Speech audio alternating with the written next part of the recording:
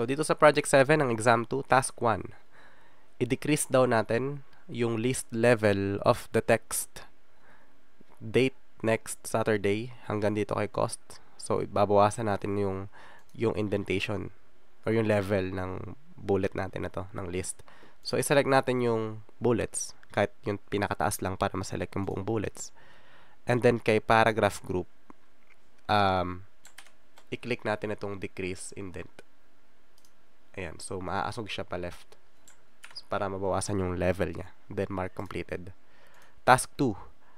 Add a bevel relaxed inset shape effect to the three shapes of the smart art graphics.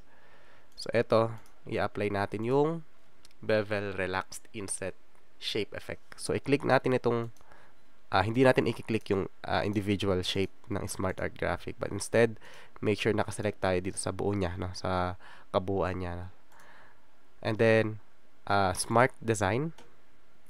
Dito ba yung format. Uh, ito. Kay format context contextual tab. Uh, i-click natin si shape effects.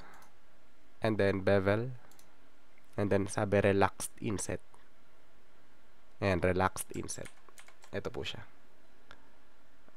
Ayan. And then, mark completed. Task 3. Save the document into the geometrics templates folder in the PDF file. For, so, naka-PDF. Tapos, ang pangalan ay Guitar Workshop. So, file, save as, browse, and then dito, make sure nandun tayo kay geometrics templates. Then, pangalan na natin to na Guitar Workshop. Then, save. Ay, sorry. Mali.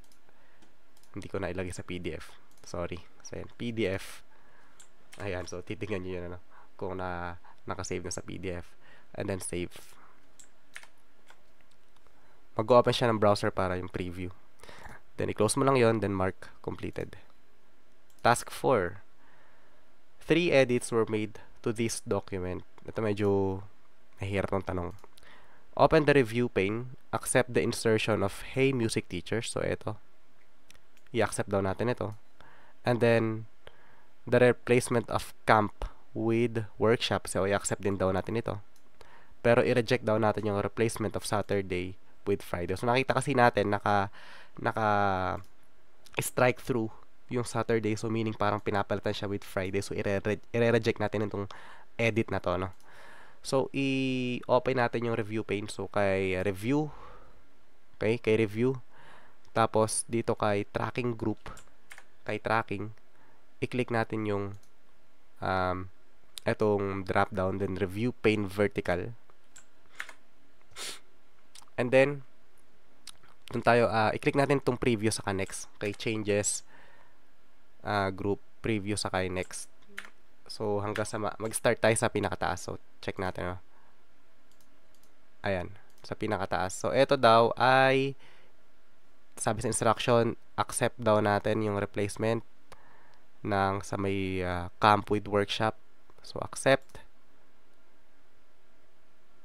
Accept. Ayan.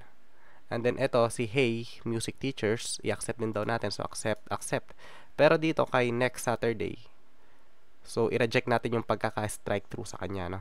Reject natin. Tapos, i-reject din natin yung pagka-add ng Friday. So, reject.